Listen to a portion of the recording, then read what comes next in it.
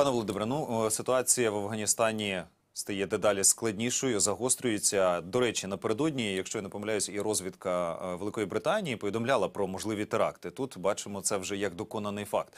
Зустріч з Нафталі Беннетом відтерміновується на невизначений час. Е, Можна лише припускати, що відбуватиметься в Кабулі за ці дні, і тим паче 31 серпня, коли ну ця дата так остаточний вивід.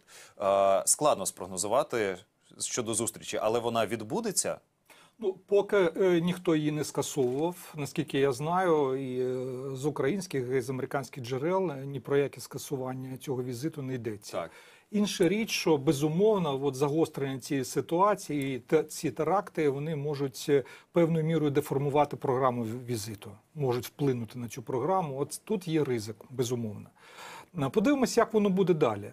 Тому що ну е, Байден нікуди не буде вилітати з е, Вашингтону. Наскільки я знаю, нема таких планів. Е, Так що з цієї точки зору ну нема проблем. Інша річ, що ну дійсно, якщо ситуація буде загострюватись, от з виведенням і американців з Афганістану, з евакуацією і американців, і афганців з аеропорту в Кабулі, то президент е, США може відволікатись на ці теми, е, і е, тут проблема може виникнути. Тому подивимося, як буде далі розвиватися ситуація.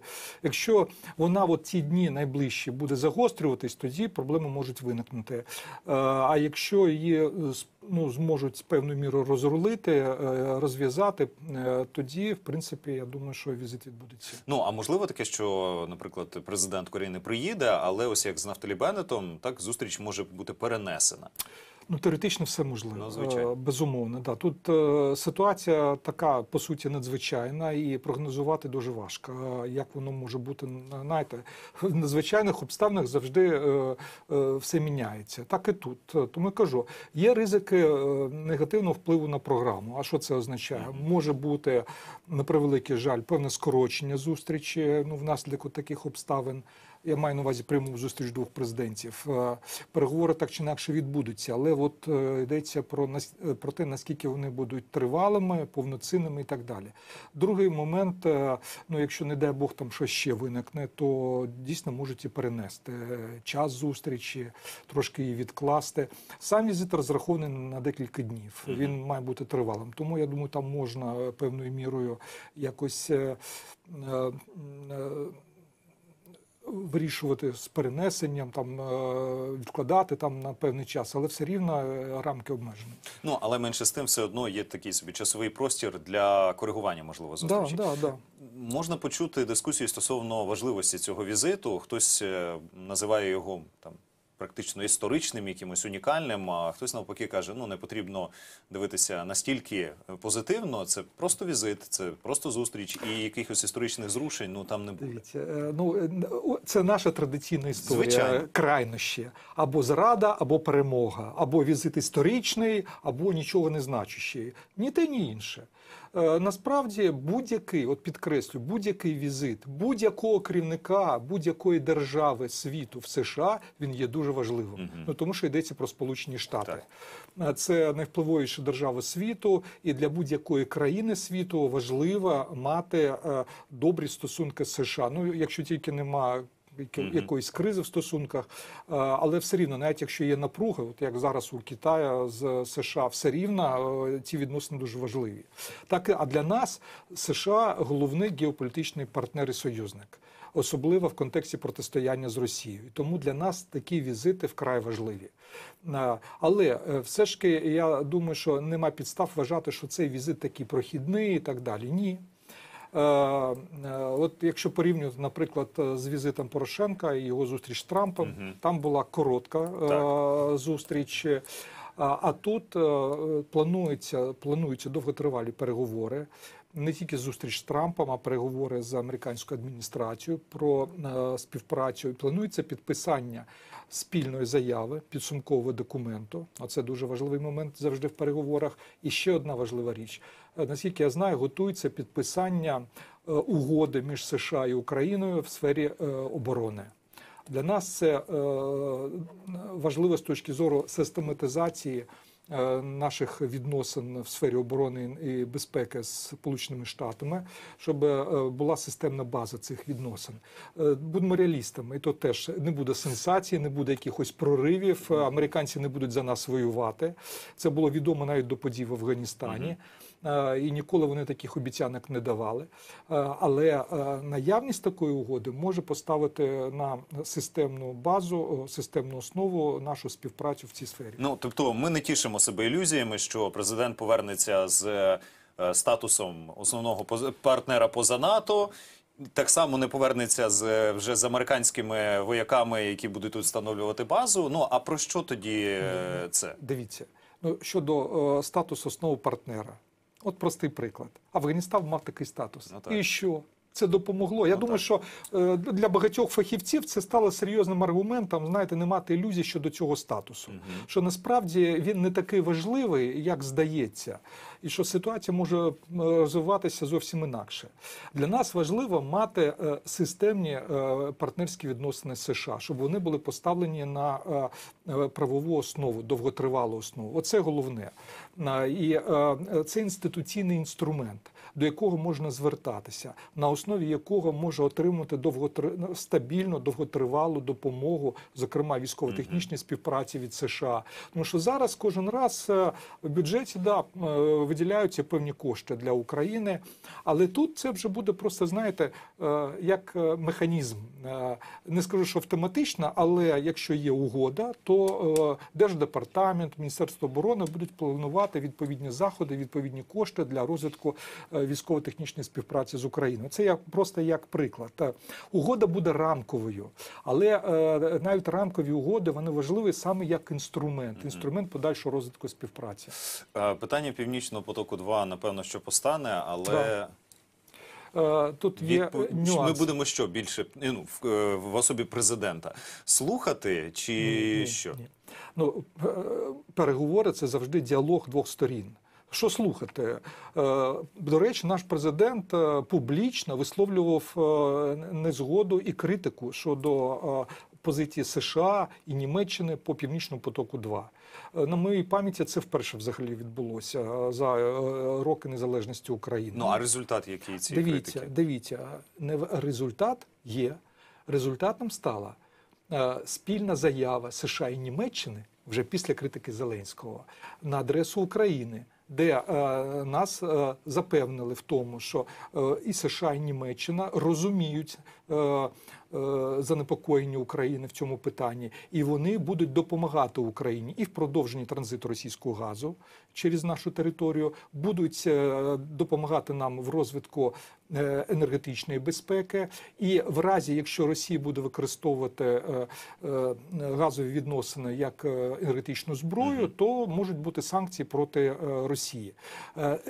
На мій погляд, я просто переконаний в цьому. Якщо б не було критики з боку Зеленського, навряд чи з'явилася б ця заява спільна, тому що тоді просто проігнорували, як е, раніше. Ігнорували ситуацію з північним потоком, просто не звертали е, уваги на наші критики, на нашу критику. А, а тут е, ніж не критику, а на нашу позицію. Тому що е, публічної критики по північному потоку з боку нашого керівництва не було раніше. Але ж е, ну згадаємо той самий, наприклад, 19-й рік. Ну тоді ж і санкції були. Тоді не, не настільки Дивіться, гостро стояло дивіться, питання. Дивіться, чи ні? да.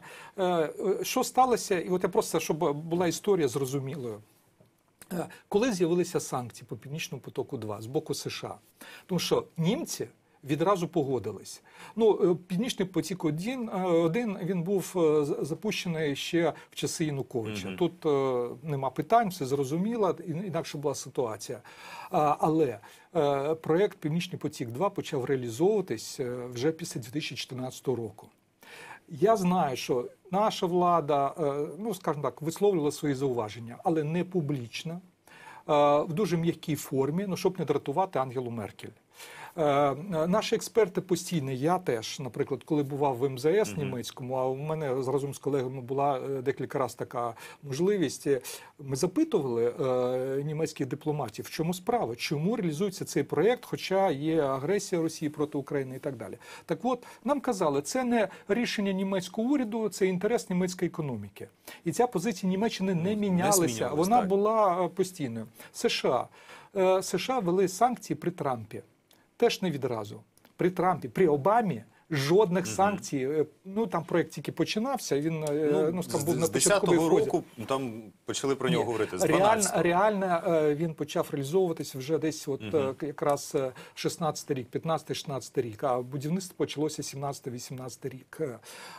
Ну, Обама був до 16 року. Ніяк ніяких особливих дій з боку США не було.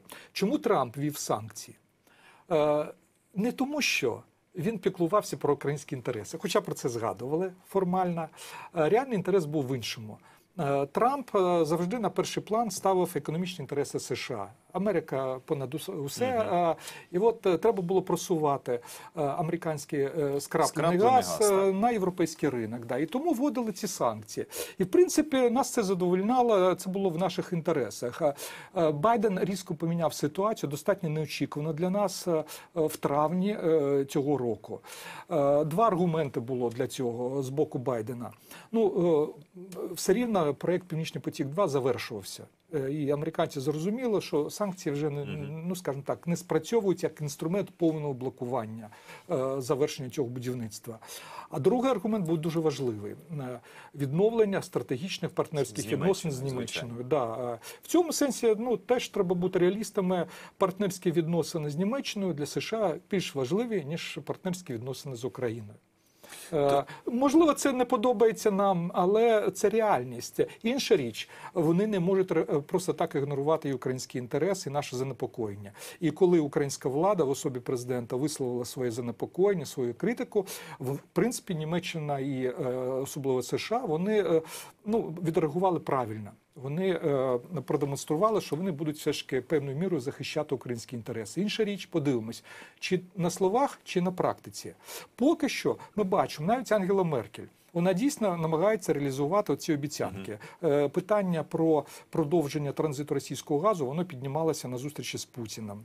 Далі, от зустріч трьох міністрів енергетики відбулася е, в Києві під час якраз Кримської платформи. Е, Крім того, підписана не угода поки, а меморандум між НАК «Нафтогаз Україною на України і німецькою енергетичною компанією про участь України в проєкті зеленого водню. Е, Це такий новий напрям енергетики. Тому тут є певні зрушення вперед. І я вважаю, що тут є певні позитивні тенденції. Е, На що ми розраховуємо? Не тільки на зустріч з Байденом і на те, що позиція Байдена зміниться. Я думаю, і є такі певні сигнали, що е, в США на ситуацію з Північним потоком 2 зокрема на ситуацію з санкціями по Північному потоку 2 може вплинути Конгрес США. Але чи будуть зустрічі з конгресменами? Дивіться, е, ну е, Байден і його адміністрація спеціально е, е, зробили так, що візит відбувся на час парламентських канікул, коли конгрес на канікулах. Але все рівно є позиція конгресменів, е, навіть конгресменів демократів, е, е, однопартійців Байдена. І тому я не виключаю, що до цього питання е, санкції по північному потоку 2 конгрес може повернутися. Є закон о санкці... про санкції проти е, країн, які е, е, становлять собою певну небезпеку для США.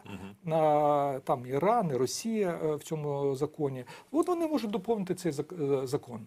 Е, Записати те, що сказано в цій спільній декларації, що якщо Росія буде використовувати енергетичні питання як зброю проти України, це може стати підставою для введення санкцій проти Росії. А ось е, тут цікаво розібрати це формулювання. Е, Росія буде використовувати як енергетичну зброю. Тобто, ну як це може проявлятися? Правильно. Як, як це кваліфікують? Що це Правильно. використання? Е, Ну, е, в соціології це називають, знаєте, е, є питання, е, поняття, концепти абстрактні, Так. да. їх треба конкретизувати, е, провести операціоналізацію. В даному випадку треба визначити критерії. Ну ось От коли, коли може виникнути ця небезпека? Простий приклад: відмова е, від транзиту е, е, російського газу через нашу територію. А, але контракт е, закінчується, ну і все. Контракт, ні, дивіться, контракт 2024 Так. рік. Е, І оскільки е, тут дійсно треба переговори вести. Поки Росія не відмовляється від продовження цього контракту, інша річ, вони торгуються. Вони хочуть, щоб Європа гарантувала теж. е, Високі обсяги закупівлі російського газу, тому що е, вони будуть скорочувати. І Меркель про це прямо попередила. Наших теж попередила, от коли була в Україні, в Києві 22 серпня. Вона попередила, що десь за 10-15 років вони будуть скорочувати, тому що е, е, нова е, енергетична стратегія, вони будуть скоро- скорочувати е, е, ну, скажімо так, використання нафти і газу. е, І так що до цього теж треба готуватися. Але е, на період десь до середини 30 років, е, я думаю, що такий варіант ще може працювати. І е, е, от якщо Росія буде відмовлятися, тоді да, це може стати підставою для санкцій. Або от зараз, наприклад, ситуація. Е, Коли Росія фактично мінімізує прокачку газу через нашу трубу, і тут є нюанс, от який не всі розуміють. Вони ну як ми закуповуємо газ? Ми формально закуповуємо у європейських партнерів, але реально це російський газ. Да, який ми отримали по цій самій трубі. І тоді вони знижують постачання свого газу в Європу до мінімуму. Щоб тільки для європейців, щоб ми не могли взяти цей газ. А от це вже тиск на нас. І от я думаю, що Зеленському треба з американцями проговорити е, конкретні критерії. Да, да, да. От коли може виникати така небезпека, в яких ситуаціях можна розглядати е, тиск е, Росії на Україну як використання цієї енергетичної зброї. Будемо рухатися